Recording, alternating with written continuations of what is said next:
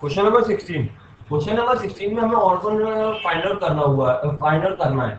जिसमें हमें चार ऑप्शन दिए हुए हैं ए बी सी डी अब सबसे पहले हमें इन चारों में पैटर्न फाइंड आउट करना पड़ेगा और जिस ऑप्शन में पैटर्न नहीं लग रहा होगा, हम उसको, यानी कि वो हमारा आंसर हो जाएगा ऑर्गन आउट सबसे पहले हम इसमें पहले ऑप्शन ए में देखें।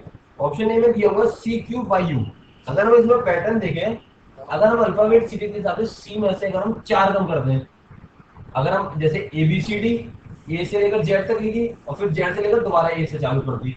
तो जो सी और वाई के बीच में जो डिफरेंस आएगा, वो कितने का? चार का? माइनस फोर और अगर हम क्यू में चार बढ़ा दें तो हमारा यू आ जाएगा प्लस फोर ठीक है?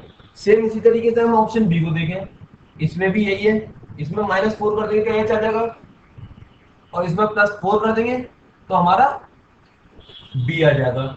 इसी तरीके से हम ऑप्शन थर्ड देखें। इसमें अगर हम एच में से चार कम कर दें तो हमारा डी आ जाएगा, और डब्ल्यू में अगर हम चार बढ़ा दें तो हमारा ये आ जाएगा। लेकिन अगर हम ऑप्शन डी को देखें तो इसमें डी में से जेड अगर हम चार कम कर दें तो तो हमारा जेड आ जाएगा। लेकिन जी से जे में अगर हम जाएँगे तो प्लस फोर नहीं प्लस थ्री करने पर हमारा जे आएगा। यानी कि अगर हम ऑप्शन चेक करें तो यानी कि ये अलग है, ये अलग है, ये एक से है, ये एक से है और ये डिफरेंट हो गया। यानी कि हमारा ऑर्डर आउट कौन सा हो गया? यानी कि हमारा ऑप्शन क्या हो गया? डी